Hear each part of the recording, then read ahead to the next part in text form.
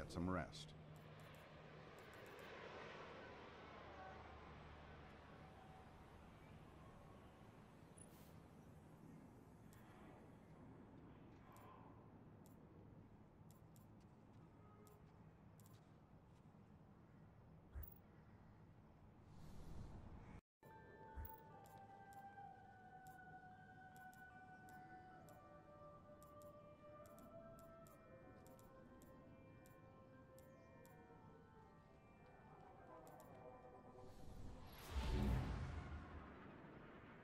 I hope we helped you, Guardian.